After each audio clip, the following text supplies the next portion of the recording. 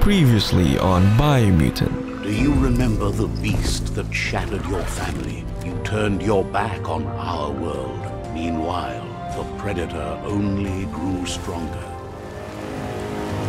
Nothing could stop Lupa Lupin from setting the world on fire. Here it comes. The past coming to haunt the present. You must go through fire and water to make it out of here.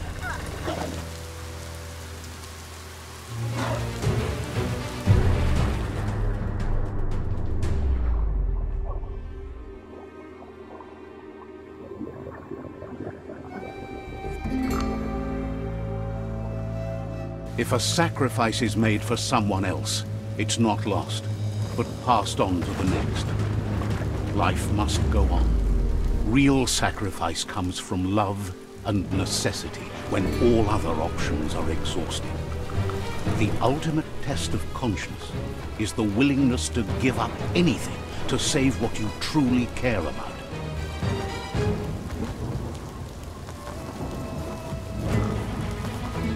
What you do for yourself dies with you.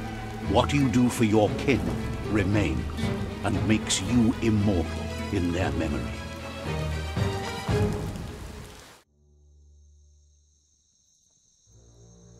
Hello everyone and welcome back to another episode of Biomutant. So we just defeated Porcupine and now we got the chance to fight our rival and the one responsible for killing the main character's parents. So we're here at the Tree of Life to meet with Out of Date so he can tell us where Lupa Lupin is. Let's proceed.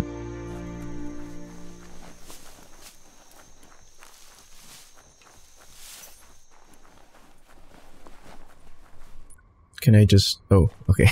I thought I could jump. I think that's, uh... I think you can die from just falling? Yeah, I don't want to try. it's the Millennium Falcon!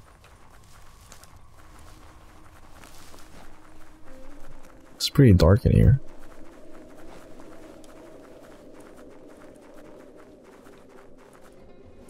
Yo, what's up? Out of Date says the time has come for you to reconcile with your past. Lupa Lupin is still staying in the camp where he was brought up. He hopes you'll find the answers you are looking for there. It's in your nature to hope for the best but prepare for the worst, but it's likely a meeting with the Lupin will end in confrontation. He'll point you in the right direction, but the rest is up to you. This part of the journey is one you'll have to do on your own. Okay, so no mounts for me? Lupa Lupin's camp has always been there, hidden deep inside the mountains. Out of Date hopes you'll find your way and the answers you were looking for once you're there. He knows he said it before, but the time has come to put an end to the Lupin's reign of terror. Oh, he's just nearby. You should get over there, come face to face with destiny. It's going to be you against the Lupin. No rules. He's happy to help. He's so near, he could have just told me way before. Wonders what your plans are for the day. You have a wild reputation. Says you'll meet again. He guesses you're back for more. Nope, gotta meet my parents' killer. Says you'll see each other later. Okay. I guess we're going to fight Lupa Lupin. Yeah, let's do that. I hope I'm strong enough to do so, though. but we'll know. We'll find out. Let's see. This place is like one big secret that keeps unfolding. Let's get my mount here. Uh-huh, this one.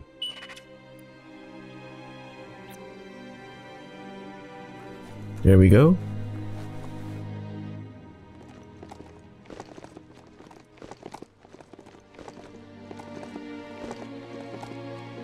It's just nearby, 100... Was that 190? Meters? Okay.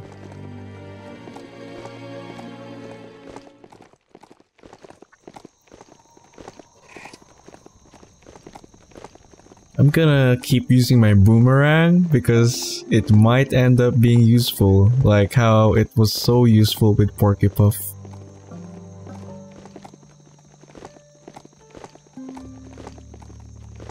But I don't know, maybe a boomerang won't be effective against Lupa Lupin. But so far, the ranged weapons have been very useful for any enemy, so I'm assuming it's gonna be the same thing.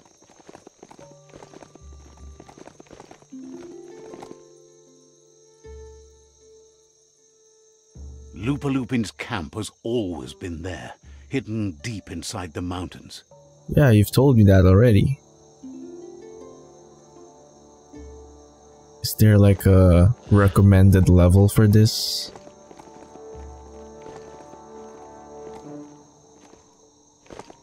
Okay.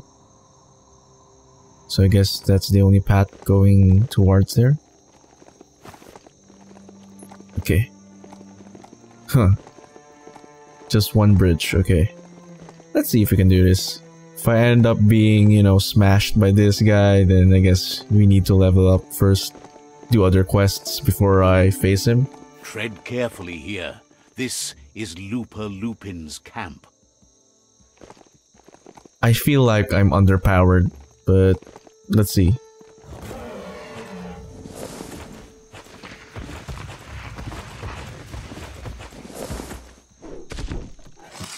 If the mount didn't throw you, you're good. Mm-hmm. Yo.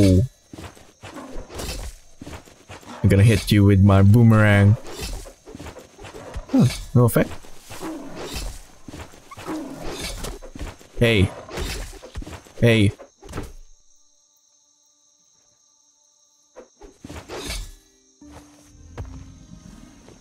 He's smaller than I remember. Lupa Lupin says he's been looking for this moment. He wanted you to come here and see for yourself where it all started. He was so little when your mother and kin came here to put an end to his mother just because she was different, a hunter. That night, the hunter became the hunted, trapped with nowhere to run. He says your mother showed no mercy, only vengeance. He can see that you're like your mother. You would have made the same decision and taken the same action she did. You're a killer too. They orphaned him, left him alone, an outcast and a freak. Lupa Lupin says he's been reliving the moment every night since then. Okay, now I kind of get why he's the bad guy. He says your mother and her disciples started something that couldn't be undone. They created the monster he would become. He knew his time would come and he was patient. So, when he got news about your birth, he knew how to get revenge that would last. Wow. Talk about playing the long game. The long con. That's why he spared you that night he razed the village when you were a child. He wanted you to suffer for life, like he had. Why though? I mean, make my mother suffer, sure, but I had nothing to do with your mother's death. He marked you for life, so he'd recognize you when you met again, and you'd eventually remember where you came from. His hunger grew insatiable over the years to come. He tried, but being vegetarian wasn't in his nature and he couldn't go hungry. But he's never taken a life for the sake of appetite. It's always been about survival, and that our true self is being who we are. Killing my mother isn't about survival though. A deep look into nature will make you understand everything better, and that natural selection eliminates and the strongest survive. Fate is for those too weak to determine their own destiny, and now the time has come for you to accept yours. Oh, whoa. Chill.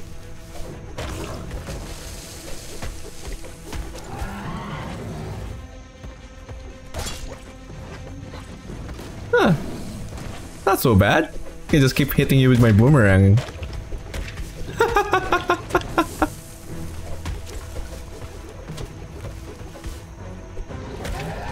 That's a bit cliche at this point, you know? Trying to make you sympathize with the villain so that he doesn't appear one-dimensional. But I guess, you know, killing my mother for being killed or killing my mother because she killed your mother makes sense, but I don't know what that has anything to do with me though.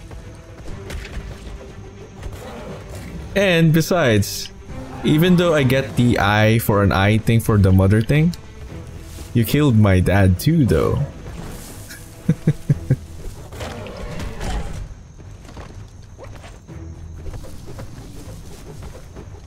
I'm just gonna keep hitting you with my boomerang.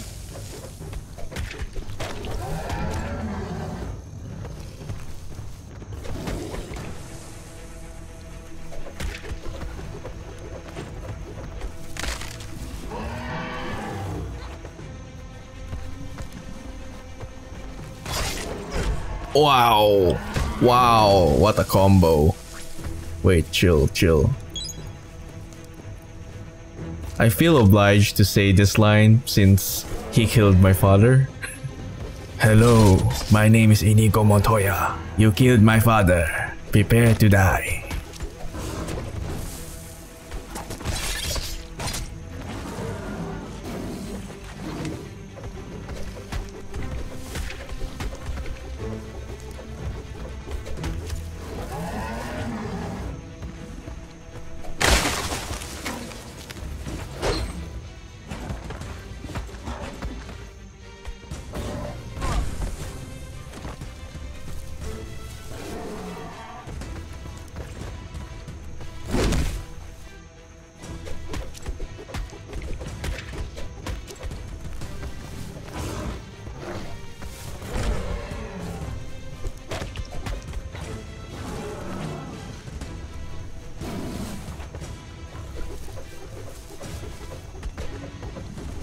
Should just keep spamming the the boomerang.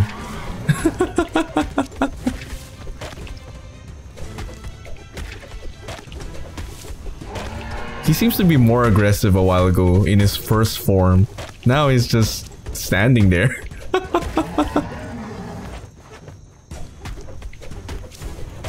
this seems to be quite unfair, to be honest.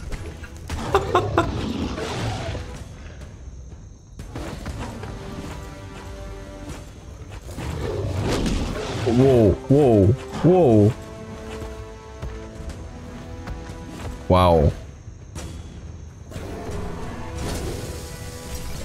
I'm just gonna keep doing what I was doing a while ago.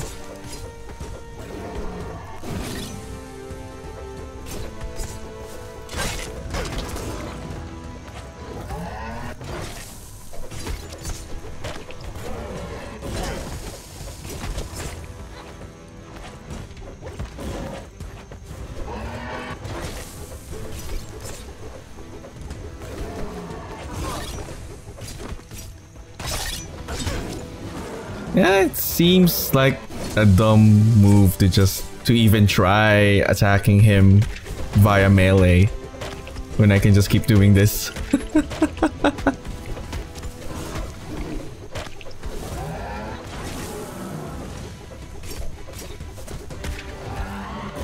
Boomerang is really severely overpowered or just useful in general. Think I should heal just in case.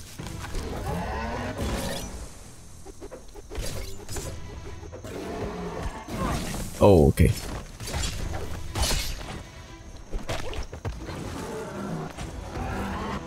Oh yeah, bad move.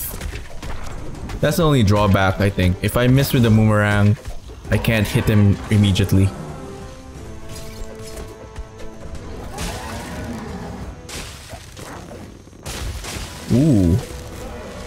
Tree of Life is on my side. He really looked bigger in the trailer and everything.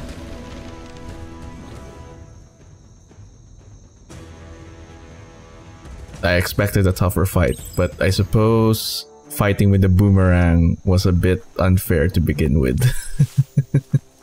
this is all about you. Whether you succeed or fail, it's on you.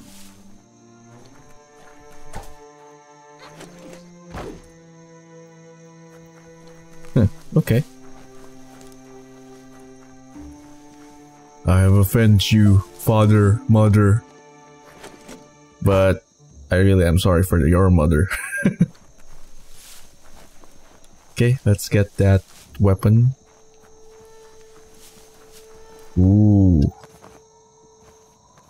Oh. Oh, it's my weapon from when I was a child. Yeah.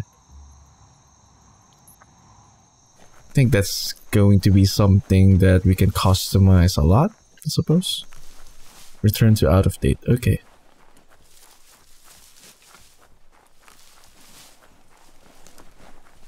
Yep.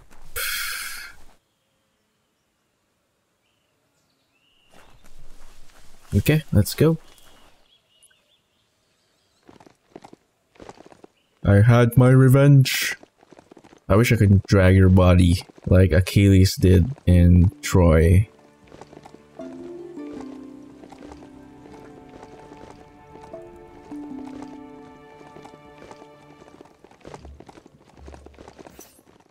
So I'm expecting I'm gonna have to face the next World Eaters now. I'm assuming the next World Eaters are going to be way tougher, since the Porky Puff was a bit harder than the Jumbo Puff, but the Mekton sort of like made it easier, I suppose. But let's see. I mean, maybe it's just similar difficulty depending on the machine that I'm going to use. Out of Date says that from what he's heard, you've been busy. He says he appreciates what you've done so far, but unfortunately he's got urgent news from his friend Noko in the east. Out of Date says he knows you're good-hearted enough to do your best to support Noko. He says he'll point you in the right direction, but finding Noko and making sure she gets what she needs is up to you. That doesn't sound good. Out of date was spot on. The hoof puff needs to be stopped. Out of date says that Noko is worried now that the Eastern World Eater is stepping up its activity. He explains that Noko keeps a fabled steed that she has planned to ride out to the World Eater, but needs help to get it prepared.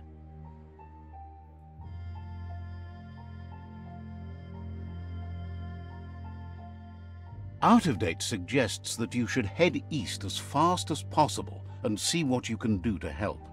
He's happy to help. Mm-hmm. Thinks it must have been hard to lose your parents. What that did to you as a kid. Understands you have other places you need to go. He guesses you're back for more. Wouldn't be surprised if you met again.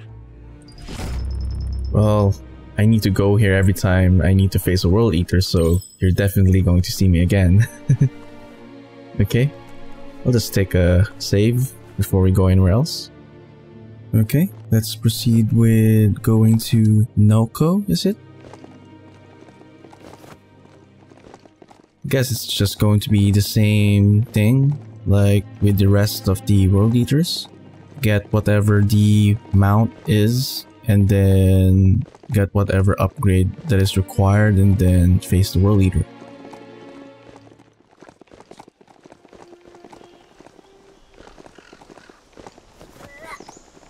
This region is known as the Knoopstones. You can't find a harder place in the world. Knoopstones. Hmm. Level 14 enemy. Nope. I'm here for the main story. Get out of my way. Ah, the Gnote pen. Noko never leaves this place. She's always put the living things first. Let's see. Okay, we're in the right place.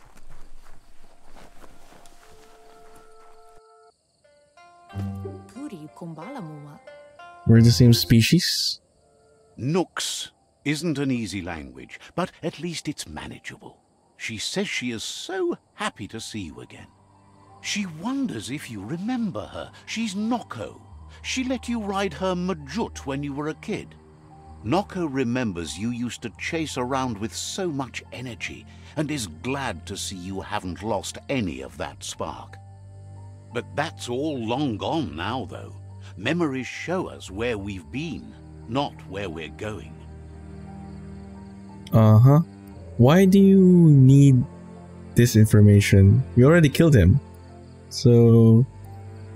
Yeah, tell me who you are, I suppose. Is sure they'll come back on their own once you stop forcing them. Hopefully not to haunt you, though. You've suffered enough already. Noko remembers those days too, but she never lets herself wallow in them, no matter how tempting that can be. She sees you're back to buck with Lupa Lupin. Can't see how there's any way to avoid that now. Not for long, at least. Okay. I guess the game doesn't track whether I've killed him already. She says the horrors of your younger days were enough to ruin anyone, but not you. You've got all that cheer about you still. Noko says history is like the trail you've been on. You can walk back down it any time you like until it's worn smooth. But you get to blaze your own trail from here. Still want revenge. She wants Lupa Lupin to pay too, even though she strongly believes forgiveness is the strongest revenge. Too late, killed him. Take that light! Really? So much for the dark! Get that light out of your eyes. It's blinding. That's how a bright mind does it. Light never lasts. Not forever. Asks how many paths you've wandered in the world and if you ever wonder about what might have changed if you'd taken different ones. The choices can be overwhelming, but you have to choose, or you just stay where you are. And what kind of choice is that? So happy the world is going to live, would have been crushed to see all the Gnotes die with it. Hates that you didn't care enough about the world to fight for it. Glad you saw the light with the Myriad. They always bring a sparkliness to any day, and sometimes the nights too. They're just so shiny, makes her smile to think about them. But let's not speak of that now. She has an idea where the Mjut might have gone, as there's no other place it likes as much as its own corner of the open wild. She's even named it the Mjut Meadow. The Mjut will recognize the scent you've attracted while being here, so it'll probably trust you enough to follow you. You should lead the Mjut back here when you find it. It's going to take time to get it calm enough to be able to ride out to the World Eater. She can't be sure. You'll have to wait and see. Okay. Find the Mjut. Oh, it's nearby. Okay.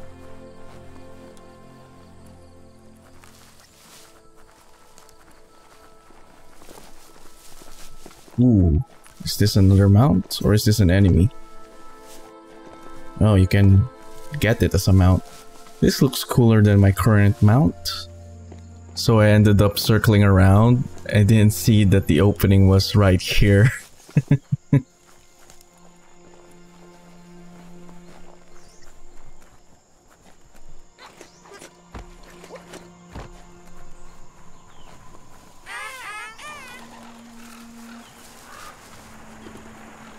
I haven't seen what happens inside.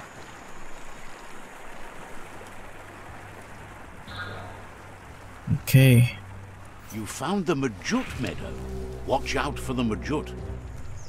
Okay, there's a couple enemies here. Oh, it's three of them.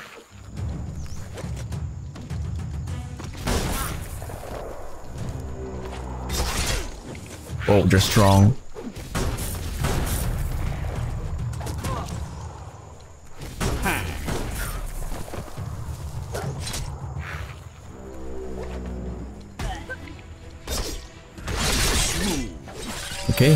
Time to go Super Wung Fu. You're not dead yet.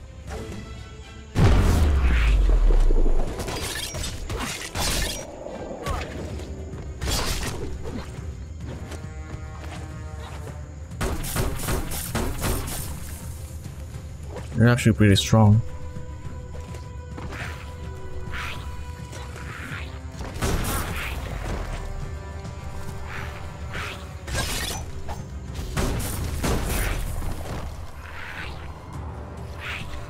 On, attack me.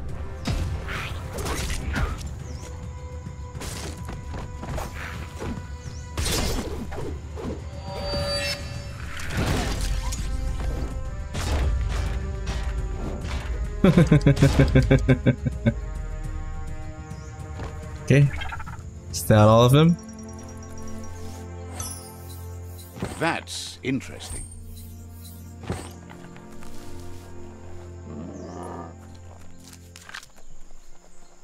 Okay. The night is ending soon. So do you need any kind of food or something? Or do you just interact? Okay. Can I ride you now? Or are you just gonna follow me? Oh. Okay. Okay, just follow me.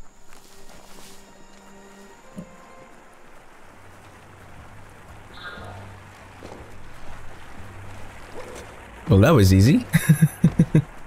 Easier than the other mounts, I suppose. Okay, I spoke too soon.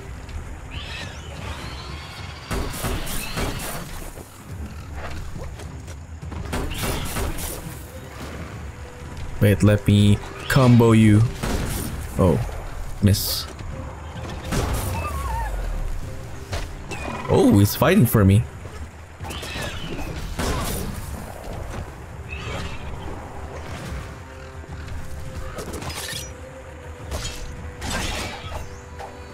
Super Wung Fu.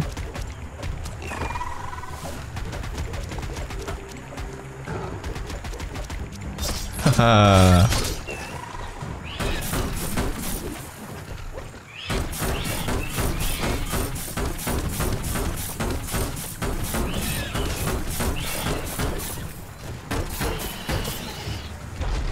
All right. Rare item. Return the Mjut.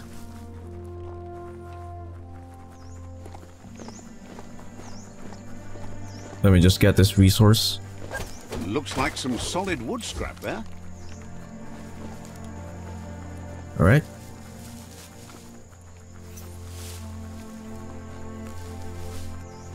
Got your mount right here.